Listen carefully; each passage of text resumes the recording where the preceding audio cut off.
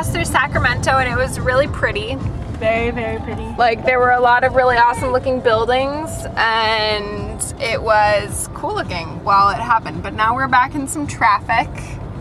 Yay. We love traffic so much. And our pending arrival time is 1.22 a.m. So that's really great.